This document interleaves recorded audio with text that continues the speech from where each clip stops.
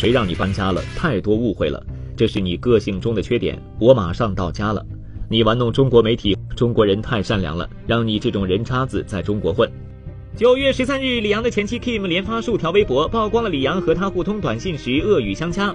联想之前两人离婚后还曾给女儿同过生日，关系似乎有所缓和，但现在如此出言不逊，究竟是为什么呢？今天我发现，虽然法院之前调查出来了李阳名下有二十三套房产，但是为了执行我们离婚案的判决，他们偏偏想卖掉我和我们三个女儿现住的这套李宁、李阳的妹妹名下的房子，又要搬家了。其实早在今年二月，朝阳区人民法院就对李阳和 Kim 的离婚案作出了一审判决，Kim 获得三个孩子的抚养权，同时李阳需向 Kim 支付一千二百万元的财产折价款等，但对于房产如何分配却没有明确写在协议之中。一定他们是是认定他的家暴呢，还有是五万钱的，还有呃其他的。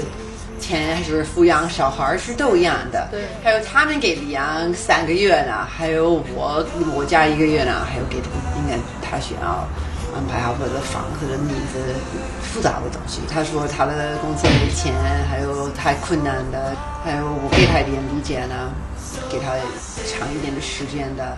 其实李阳和 Kim 在一审判决后，双方都有让步。然而时隔七个月，双方为何又起争执？记者试图联系李阳和 Kim，但均没有得到回应。好，您拨打的号码已过期。一段感情的结束，真的靠一纸法律文书就能彻底解决吗？这个问题似乎依旧困扰着李阳和 Kim。究竟后续如何？我们播报记者也会继续为您关注此事。